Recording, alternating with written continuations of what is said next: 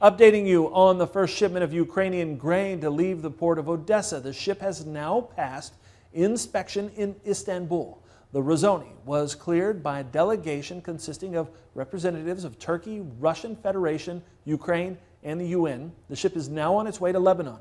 It's carrying more than 26,000 tons of corn, and it's reported there are 17 vessels loaded and awaiting permission to leave Ukraine and that applications are being accepted for the entry of new ships to Ukraine ports for loading ag products.